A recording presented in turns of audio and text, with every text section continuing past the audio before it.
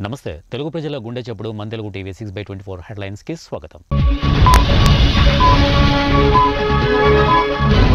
రెండు లక్షల డెబ్బై తొమ్మిది వేల రెండు వందల డెబ్బై తొమ్మిది కోట్ల రూపాయలతో వార్షిక బడ్జెట్. శాసనసభలో ప్రవేశపెట్టిన ఆర్థిక మంత్రి బుగ్గన రాజేంద్రనాథ్.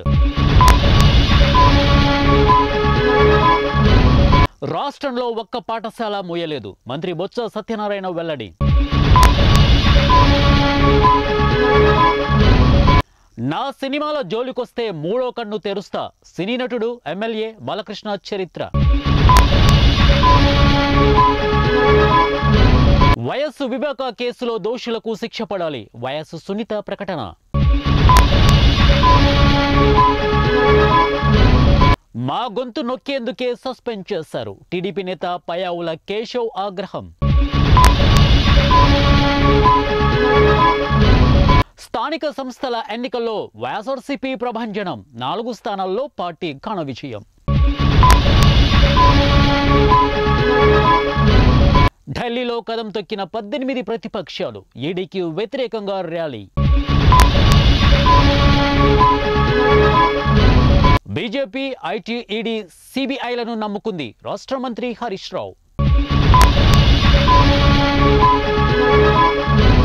విచారణకు రాలేనన్న కవిత కుదరదన్న ఈడీ.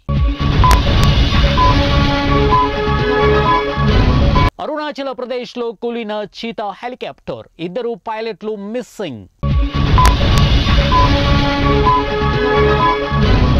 ఏపీలో మూడు రోజుల పాటు ఉరుములు మెరుపులతో భారీ వర్షాలు. వాతావరణ శాఖ హెచ్చరిక. మొన్న భూకంపం ఇప్పుడు వరదల భీభత్సం. టర్కీలో పద్నాలుగు మంది మృతి. మడగాస్కర్ తీర ప్రాంతంలో విషాదం. ముప్పై నాలుగు మంది జల సమాధి మూడో ప్రపంచ యుద్ధం రానివను ఎన్నికల ర్యాలీలో ట్రంప్ హామీ. పాక్ మాజీ ప్రధాని ఇమ్రాన్ ఖాన్ అరెస్టుకు యత్నం అడ్డుకున్న మద్దతుదారులు.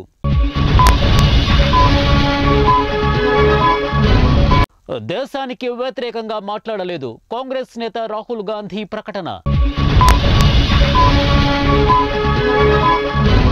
బీజేపీకి అంతిమ ఘడియలు సిఎల్పి నేత భట్టి విక్రమార్క. నోట్ల రద్దు వినాశకర నిర్ణయం. సిపిఎం ప్రధాన కార్యదర్శి సీతారాం యచూరి. ఆన్లైన్లో ఆధార్ అప్డేట్ మూడు నెలలు ఉచితం కేంద్ర ప్రభుత్వం ప్రకటన.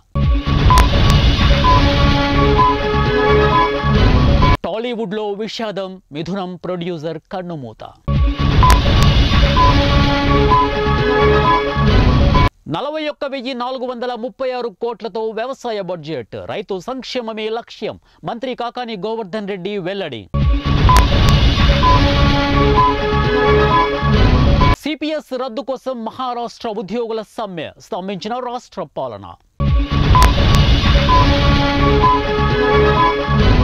Punjab విసురుతున్న H three N two virus. పది రోజులు స్కూళ్ళకు సెలవు ప్రకటించిన పుదుచేరి ప్రభుత్వం. అబద్ధాలు అచ్చేసిన రామోజీని సభకు పిలిచి విచారించాలి. మంత్రి బుగ్గన డిమాండ్.